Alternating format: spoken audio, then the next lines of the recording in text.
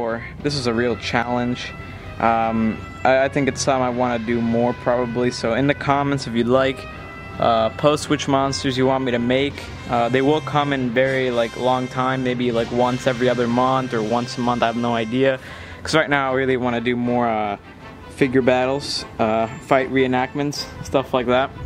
Uh, not saying that anyone's copying me right now. I want to wish some, pay some respects to Haru Nakajima. I might do a tribute video later. But yeah, that's it for this video. This is Kaijuzilla621, signing out.